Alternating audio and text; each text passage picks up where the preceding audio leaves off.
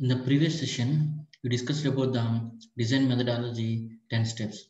Now, we are going to know about the case studies for the home or the case studies home automation system by using this design methodology. The home automation systems case study. In this home automation system case study, we are going to know about the controlling of light in a home remotely using a web application. That means by using mobile phone or you, we will our automatic sensors, you will control the our home system. The next important thing, the that means you have a you will apply these 10 steps for the home automation system for controlling the light levels. The first important one, the purpose and requirement specification. The previous session discussed about the purpose and uh, uh, requirement specification. That means in what purpose you are going to design in the system. Here, the purpose, the purpose of the design the smart home system is a home automation system is a allows a controlling of light, the controlling of light value, the controlling of light in a home. That means the it is a low low level or high level. Depends upon any criteria. That means you will control in the light level remotely by using web application. That is a the main purpose for the controlling the light level or home automation system. In this system, the behavior, the home automation system behavior, we have two different modes are there. One is a auto mode, other one is a manual mode. Auto mode means automatically if light level is low, automatically you will switch on the light. If light level is high, you will switch off, switch off the tube light. That is a depends upon a light level. You will stop or start the lights. In the auto mode, the system measures the light level in a room and switch on the light when it gets dark. The, that means room level is a dark, automatically switch on the light. In manual mode, the system provides a option for manually and remotely switching on or switching off the light. That is a main intention for using these levels. In this, mm, they have a the requirement. The requirement. What are the different requirements here? System management requirement, data analysis requirement, application development requirement, and then security requirement. In the first case, the purpose and requirement specification. The system requirement. The system management requirement should provide a remote monitoring and control functions. And then data analysis requirement. If it comes to the data analysis requirement, what about the exactly data analysis requirement?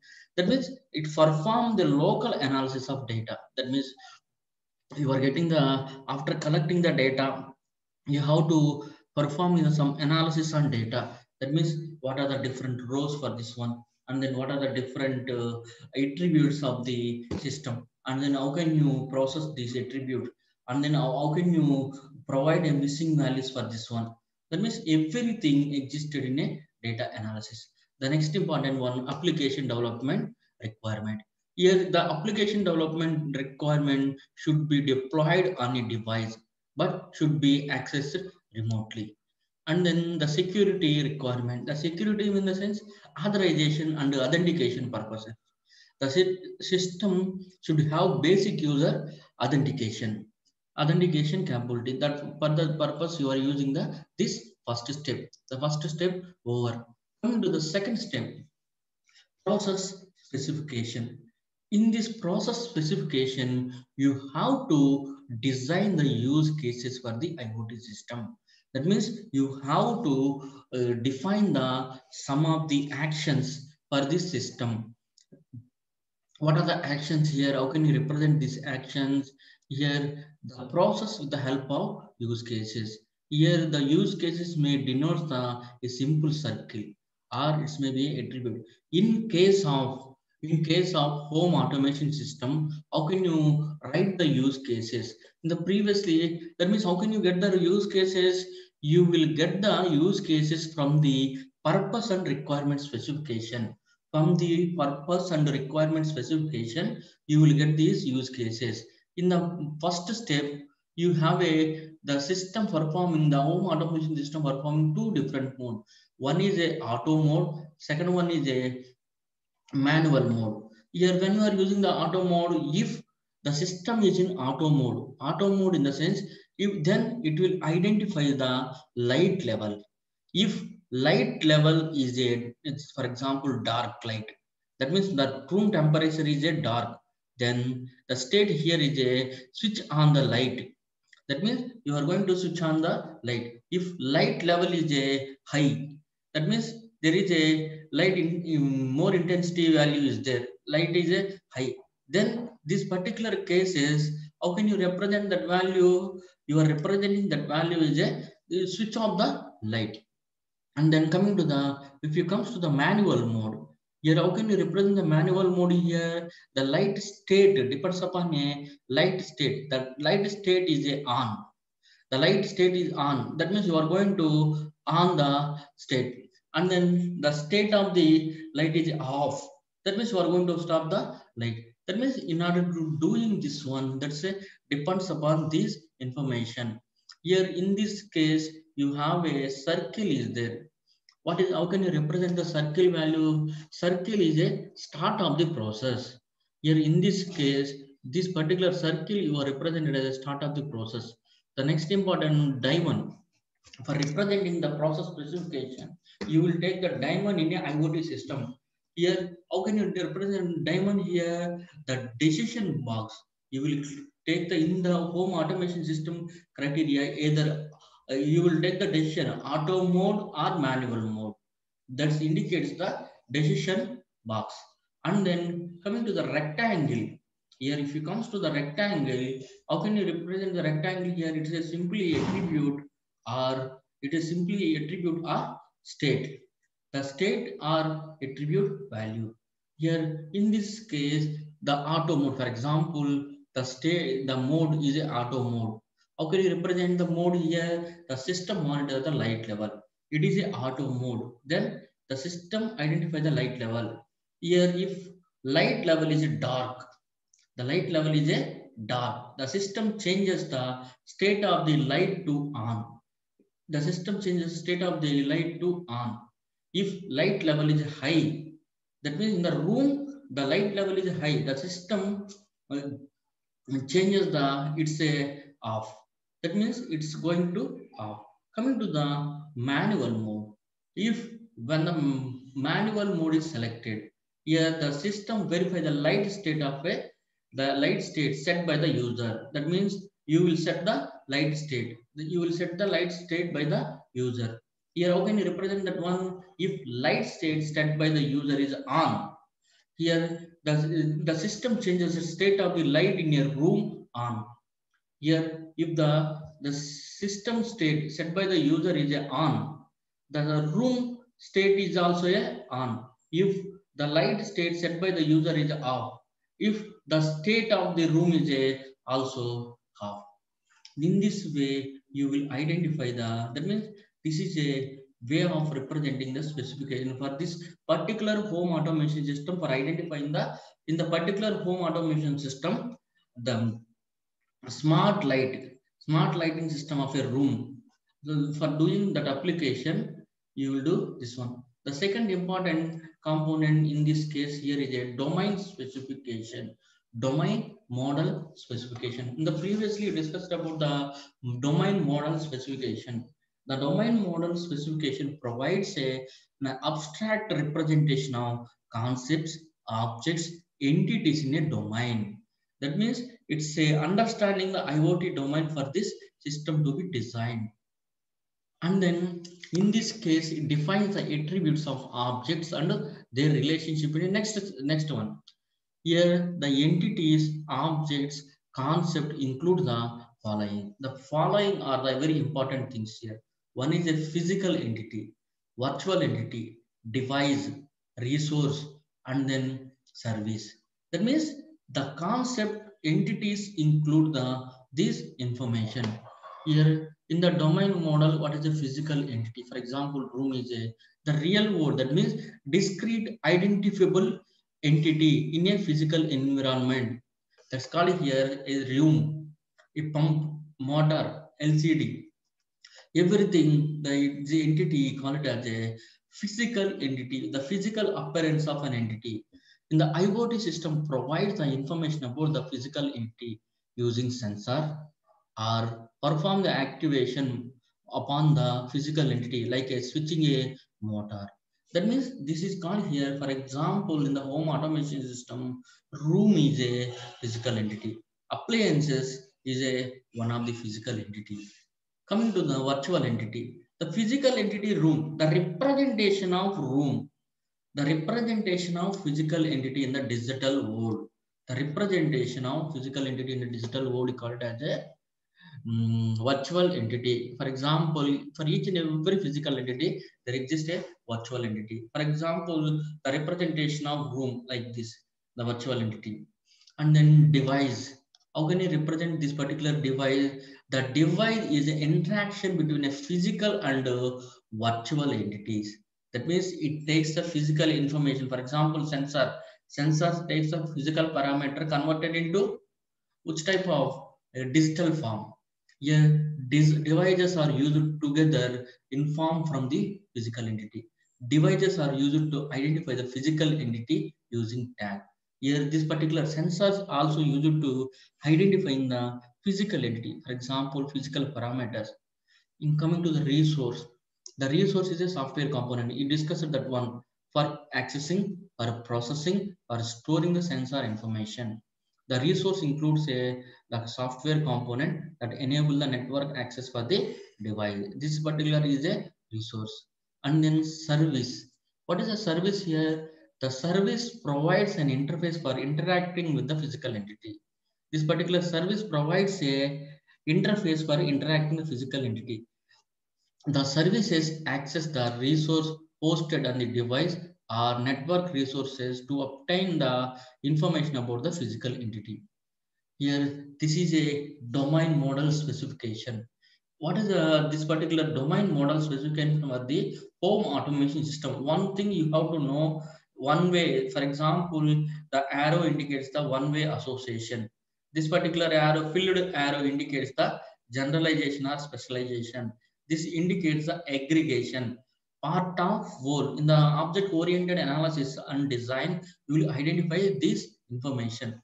See here, here in this case, you will identify that these are all physical entity for the home automation system for controlling the light level. These are all virtual entity for the home automation system for controlling this one. And then the, there is a service is there. You have a mode service, controller service, and then some of the different services available. The resource is a software component. Here, resource also available. That means device. That means in this case, in this way, you will have the some certain kind of information. The first thing here, I'm going to starting from the um, particular user or device or anything here. Here, for example, the physical, I'm going to starting from physical entity here this particular physical entity what is the physical entity there is a representation the virtual entity related to the physical entity the representation of physical entity room. Room is a physical entity. The representation of physical entity is a this one the virtual entity. These, these are all appliances for the virtual entity. And then the virtual entity associated with the service. Here invoke uh, the different different services are there. This particular service exposes the resource.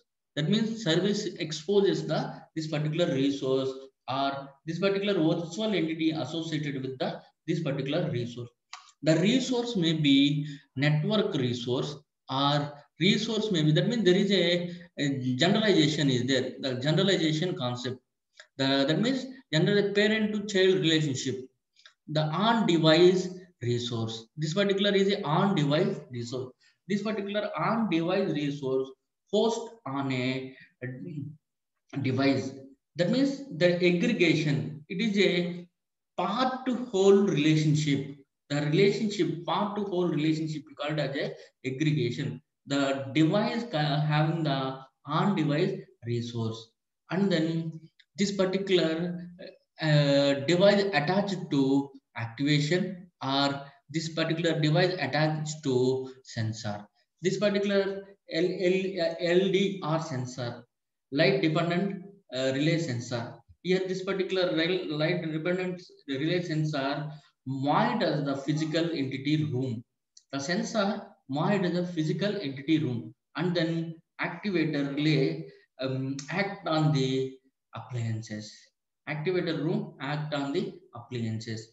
That means in this case here, the user interact with the physical entity. That means always the user always interact with the this particular physical entity. In this case, human users are there, act, active digital artifacts are there. This is a some domain model, domain model for this specification. And then coming to the, in the particular domain model, there are three services are there. Here, what are the services here? A service that set mode auto to manual. That's called here mode service.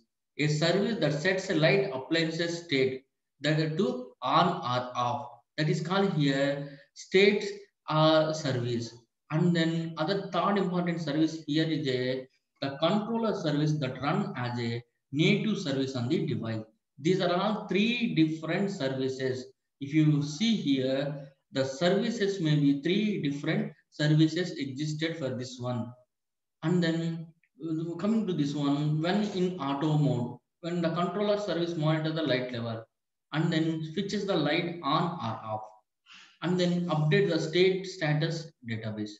And then if it is in a um, when in a manual mode, the controller service retrieve the current state from the database, switches the light on or off. The process of deriving services from the process specification information modeling described in the next section. That means from the process and driven. And then coming to the next fourth important information here is a information model. How can you represent this particular information? Previously discussed that one here. In the information model, you will identify the attribute for the virtual entities and then their relationship. The attribute for the virtual entities for the relationship. Here, this is a very important task. That means, for example, in this case here, you will identify that means design the class diagram in this case. Previously designed a entity relationship diagram. Here in this case, you will define in the different attributes for the virtual entity. The virtual entity room. These are all are the room attributes. That means a property of an entity called as a attribute. Here the virtual entity light appliances. The light appliances attributes. These are all are the attribute. That means you will identify the attribute level is a one entity. That means in this way, you will identify the attributes as well as the their relationship that indicates the information model. For the home automation system also you'll identify in this way. And then in this information model here, two virtual entities are there, virtual entity light appliances and then virtual entity room. This is a information model. The next uh, service specification model. This is a simple information regarding the information model and then service specification. This is a one of the step in the service specification define the services in an IoT system, service type, service input, and then service endpoint, service schedules, and then service preconditions, and then service effects. That means you are going to defining the all information in a service model. The very important thing in this case here, you have to map the process specification model with the information specific information specification model. Here there is a mapping is there. In this case, you have a three different services available for the home automation. In case of home automation system, three different services for the mode service, other one is a state service that means uh, for setting the state level and then finally you have a controller service is there the controller service is a one of the service for this one Here come to the first one, mode service. Here how can you represent this particular mode service? In this case, the mode service sets the mode to auto or manual. Man, auto or manual or reduce the current mode. That means you are setting the, this is a one particular service. And then coming to the state service, here the particular state service indicates that state sets the light appliance, the appliance state to on or off or retrieves the current lights information.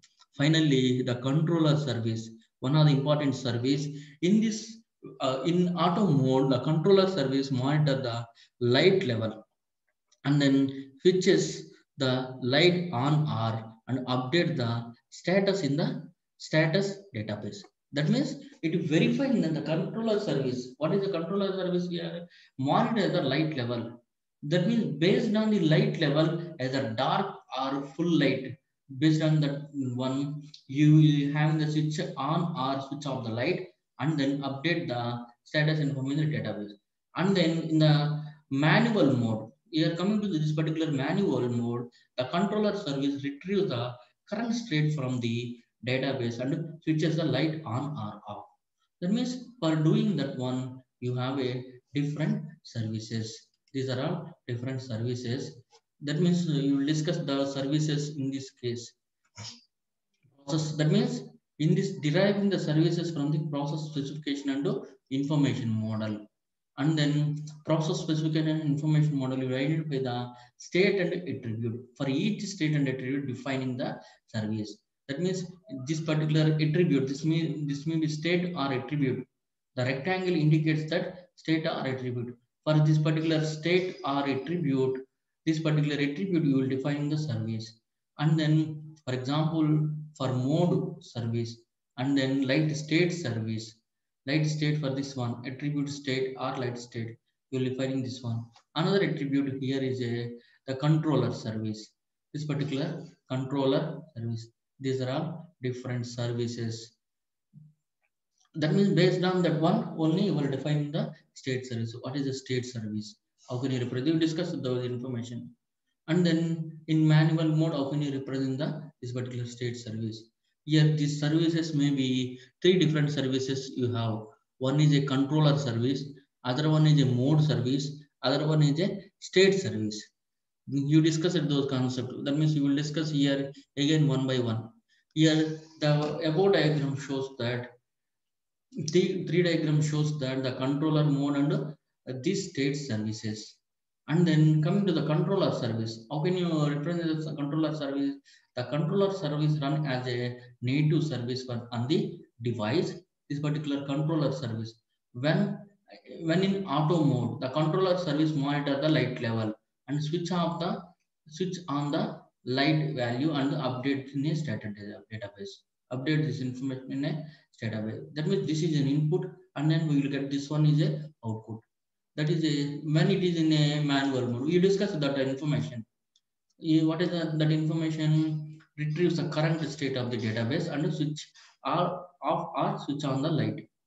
And then other mode service. Mode service indicates that this service is a mode service how can you represent is a REST full web-based service.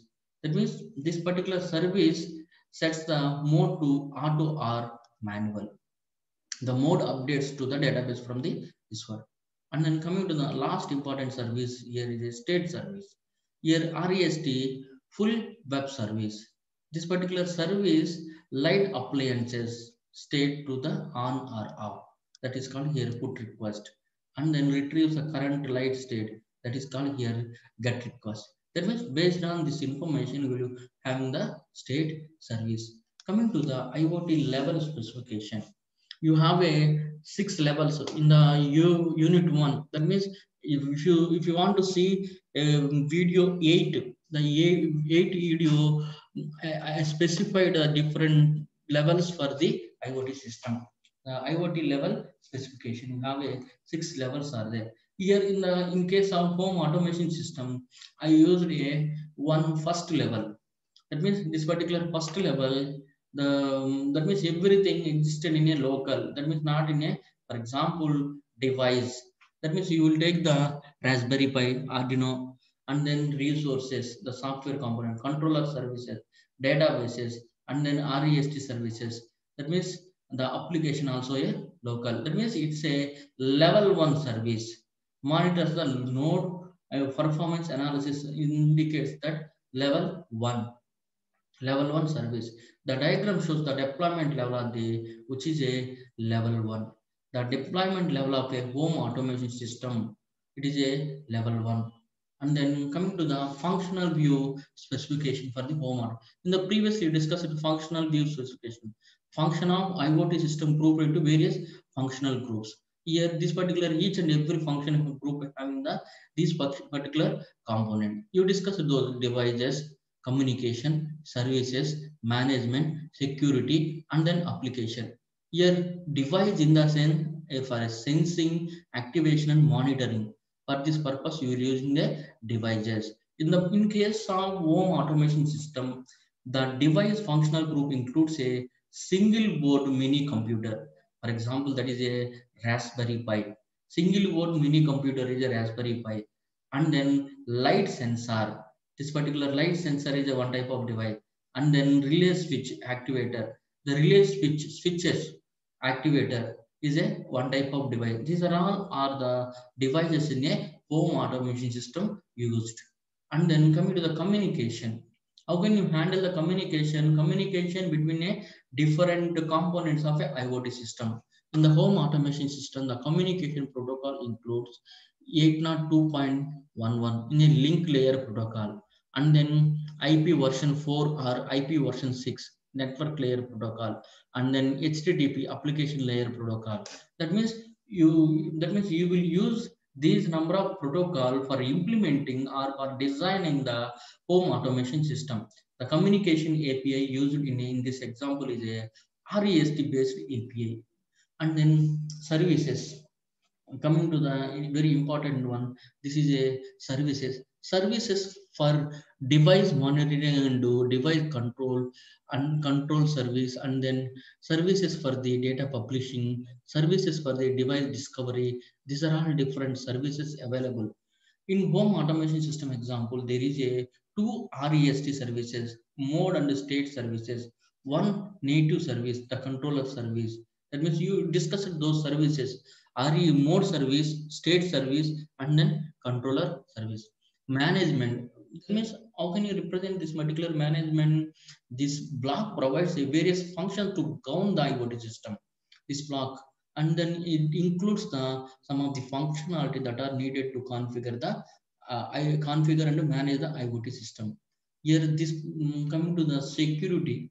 Here, how can you represent the security? Any unauthorized person can access, access our data. That is a security reason. Application. This is an interface that user, that means graphical interface that user can use to control and monitor various aspects of a IoT system. This is a, a graphical interface here. Application allows user to view the system status and to, to view the or analyze the processor data. This is a functional block information. You are linking the IoT level to level one system to um, different functional block devices maybe that means use the devices raspberry pi activator mini computer and then the resources maybe in this way you will link all these information. Coming to the this particular functional group. That means you have to explain for example iot um, device map to the device functional group. How can you mapping this one? And then the second important resource map device to functional group. How can you map this one? And then third important controller service map to the service functional group, native service. How can you map this particular service group? That means in this way, you will map the all information to different functional group. This is a functional group and then operational view of a view specification. Operation view specification, various options pertaining to IoT system management system deployment operations are defined here. Here, the service hosting option, the service storage uh, option, device option, application hosting option. These are all different options. In this case, you have a different options available here. For example, for this particular devices, the computing devices may be options Raspberry Pi, and then sensor may be LDR, LDR sensor, light dependent um, sensor. That means relay switch. This for particular devices. Here coming to the communication. The communication when you perform the communication based on a REST API. The communication protocols available here.